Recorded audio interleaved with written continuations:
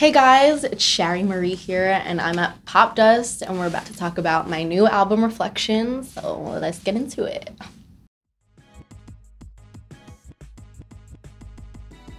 There's a lot to it. I think that every song on the album has pretty much a different mood for anybody to relate to. So it's a pretty good variety of different sound and I even genre, pop, R&B, trap, soul. So yeah.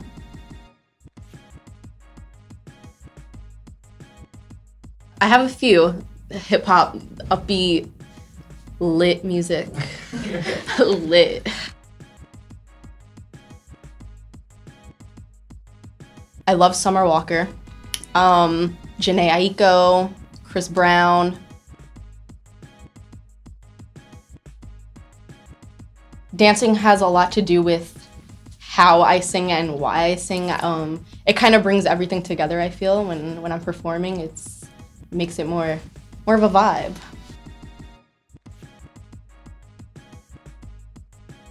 Sweet is pretty much an empowering woman type of song.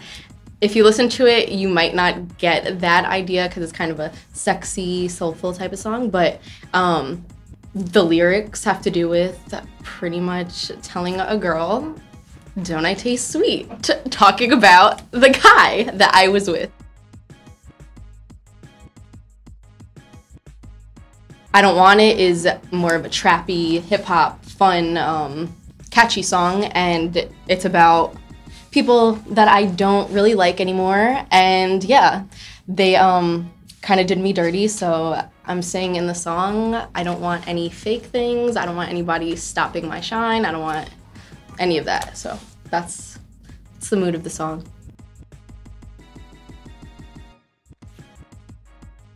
That honestly just randomly came up. Like, give thanks. It's it's just a song about me and a guy, but the title just came randomly. We thought it would look cool. The song is called I Belong to You and it's about my parents' relationship. My dad's incarcerated, so it talks about like pretty much everything in the song is what my mom would say to my dad and i'm kind of just trying to give the message out there to other people that have been through this situation that it's okay and you're gonna get through it the whole the first few scenes is actually um, us leaving a visit me and my mom leaving a visit on our drive home.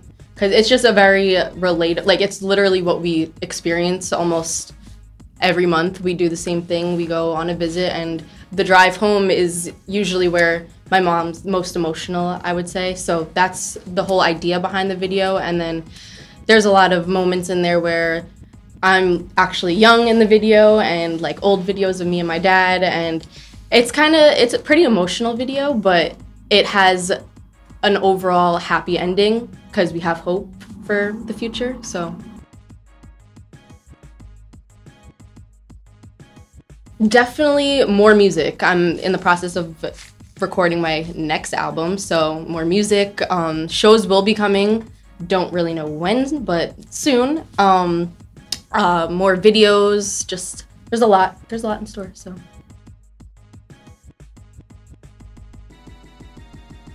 Find me on Instagram, Shari Marie, YouTube, anywhere, Apple, you name it, you can find me.